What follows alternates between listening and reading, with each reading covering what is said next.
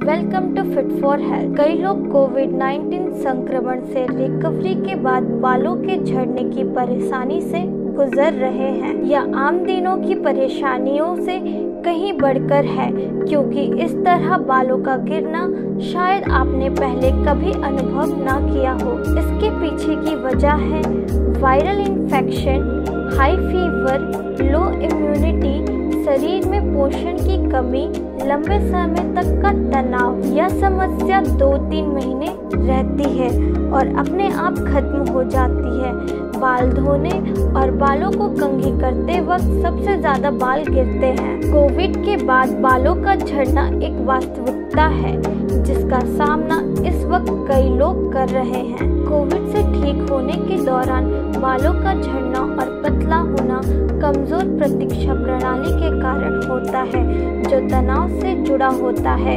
हालाँकि इसे प्रबंधित करने का एक अच्छा तरीका है, अपने आहार पर ध्यान देना।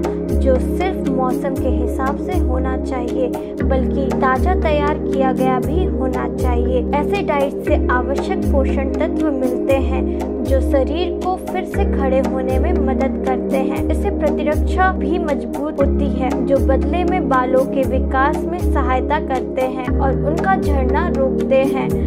हम आपको तीन खाद्य पदार्थों का सुझाव देंगे, जिसे डाइट में ज़रूर शामिल करना चाहिए। इसके सेवन से आपको ज़रूर फ़र्क देखने को मिलेगा। काले रंग की ये किशमिश सबसे अच्छी होती है।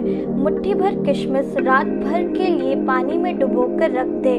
सुबह इसे खा लें। आप इसका पानी भी पी सकते हैं। आंवले का ताज़ा जूस या फिर कच्चा आंवला।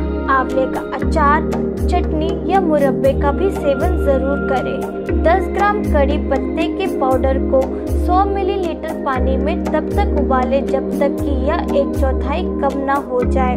इस चाय को सबसे पहले सुबह पी लें। अगर आप इन सभी चीज़ों को तीन से चार हफ़्ते तक करेंगे तो आपके बालों के झड़ने की परेशानी बिल्कुल खत्म हो जाएगी। और हमारे वीडियो को ज़्यादा से ज़्यादा लाइक करें, शेयर करें और सब्सक्राइब करना ना भूलें।